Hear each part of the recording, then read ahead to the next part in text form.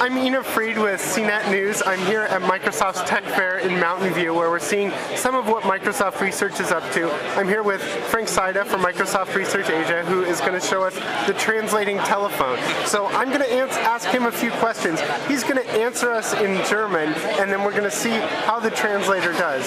So Frank, what are we seeing here? Äh, wir zeigen hier ein System zur automatischen Übersetzung von Sprache. We show a system here for automatic translation of language. So it did pretty good. How long have, has Microsoft been working on this?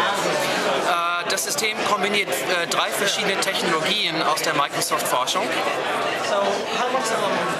The system now three different technologies on Microsoft Research are And how long have you personally been working on it? Ich habe seit neun Jahren bei Microsoft gearbeitet.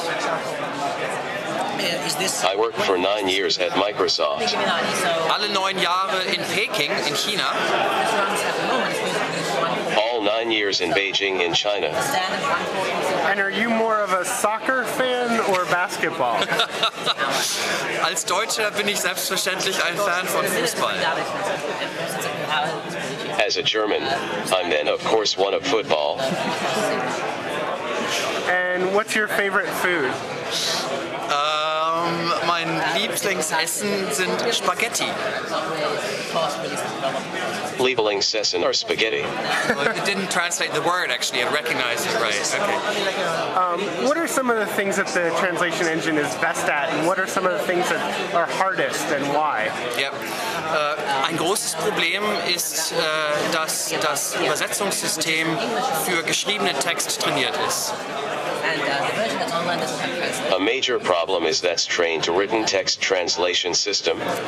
Aber geschriebener Text ist durchaus sehr unterschiedlich von gesprochener Sprache.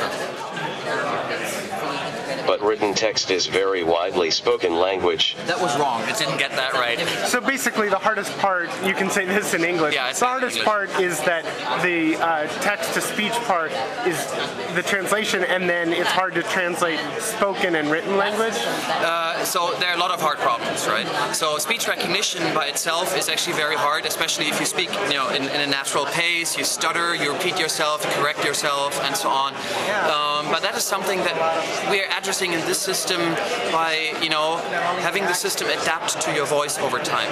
So the longer you use the system, the better it gets. And we have actually used the system in the English version for about a year now, and we get very, very reasonable accuracies for that. Um, on the translation side, the problem is really that uh, because it's all based on machine learning, right? Uh, we need to get parallel texts in two languages uh, for conversational style speech, and that is very, very difficult. It's much easier to get that for written text. Documents that are out on the web are typically written style. So the challenge that we're facing here is that my German, for example, when I speak spontaneously, is not grammatical. It doesn't fit into the normal grammar rules, and that's something that sort of confuses the translation system quite a bit right now. Well, Frank, thanks you so much for taking the time. I really appreciate it. Gerne geschehen. Like to happen. Ah.